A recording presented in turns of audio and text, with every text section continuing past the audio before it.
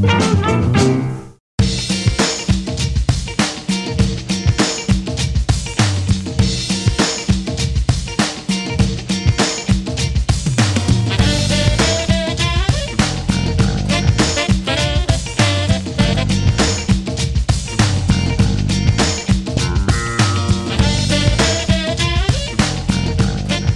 E, to je vjerojatno nepotrebno govoriti, sada si igrač Dinama, ali kao dijete pretpostavljam da si razmišljao i maštao u kojem bi velikom hrvatskom klubu zaigrao. Koji je to bio?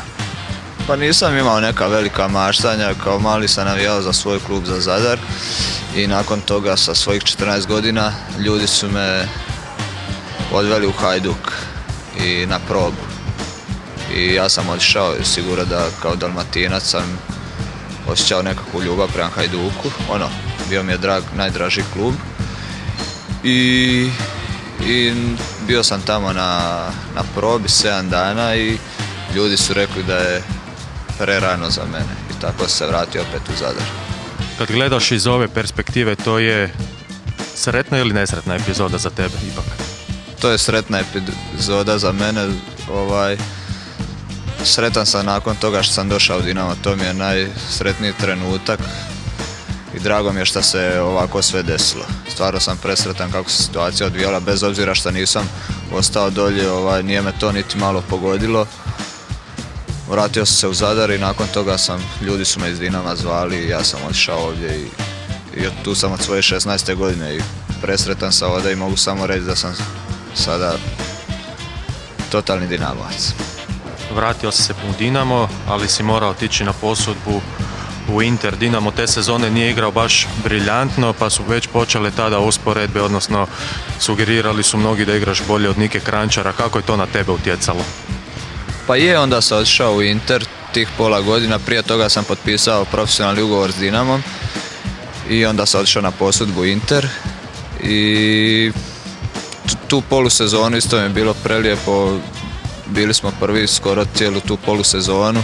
Nakon mog odlaska Inter se opet nastavio boriti za prvaka. A ja sam došao u Dinamo i te usporedbe sa Nikom su me non pratile. Ali bez obzira na to, ovaj, to na mene nije niti malo utjecalo, niti mi je stvaralo nekakvu težinu. U dvoboju s Argentinom u Bazelu započela je recimo to tako tvoja karijera u A reprezentaciji. No, slijedilo je svjetsko prvenstvo u Njemačkoj, mala minutaža, da li te to razočaralo, kako si gledao na odluku izbornika Krančara tada?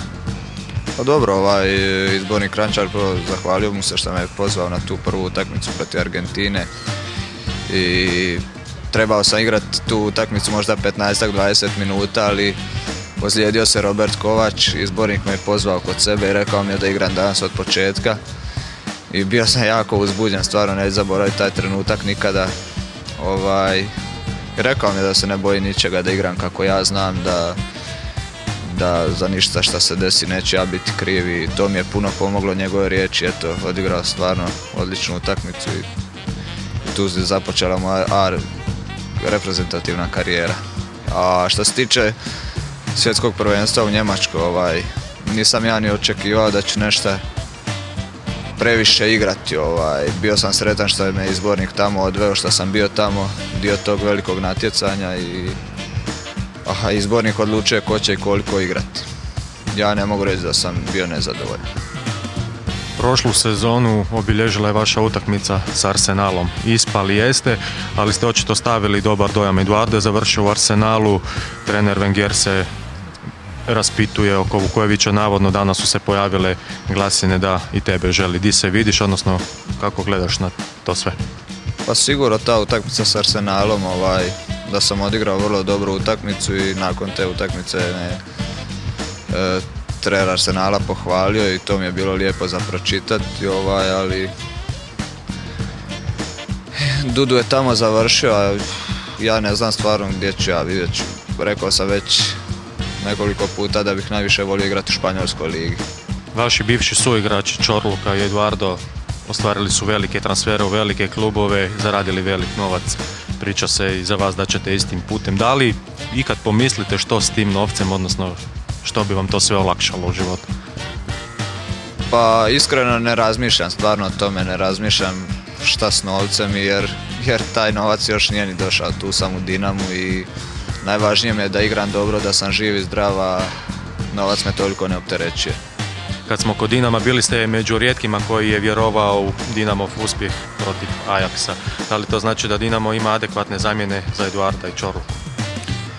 Pa nije ovaj da sam bio jedan od rijetkih. Svi igrači su govorili da, da imamo da imamo snage da, da prođemo Ajax. Jer kući smo izgubili 1-0, ovaj, ali pokazali smo puno puta ove sezone da puno bolje igramo u gostima.